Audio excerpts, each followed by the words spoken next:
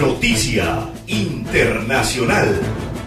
En materia internacional tenemos que una mujer muerta y otra herida en ataque con cuchillo en Australia. Una mujer fue asesinada y otra resultó herida este martes en el ataque perpetrado por un hombre armado con un cuchillo contra múltiples personas en el centro de Sydney, que la policía no ha considerado un incidente terrorista, aunque tampoco lo ha descartado. La víctima mortal de 21 años fue encontrado dentro de un edificio mientras que otra mujer de 41 años fue apuñalada por la espalda en la calle y se encuentra fuera de peligro, indicó en rueda de prensa el comisionado de la Policía del Estado de Nueva Gales del Sur, cuya capital es Sydney. El autor del ataque ha sido detenido. Es un joven de 21 años con aparentes problemas mentales que perpetró el ataque con un cuchillo de carnicero y que disponía de material de índole ideológica, aunque al parecer no tiene vínculos con organizaciones terroristas.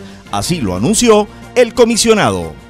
Al ser preguntado sobre si el material en poder del detenido estaba vinculado al grupo terrorista islámico, respondió que él todavía no había tenido acceso al mismo, aunque creía que se refieren a matanzas en Estados Unidos y Nueva Zelanda. La policía señaló que se desconoce el motivo del ataque, aunque aseguró que parece que se llevó a cabo sin provocación previa. El sospechoso fue reducido en la calle por un grupo de transeúnte con silla, barras metálicas y cajas. Posteriormente, fue arrestado por los agentes de policía, según muestran fotos y videos en las redes sociales. Las autoridades calificaron de héroes a las tres personas que se jugaron la vida al enfrentarse al atacante para proteger al resto de ciudadanos y que redujeron al asaltante con la ayuda de varios bomberos que se encontraban en la zona.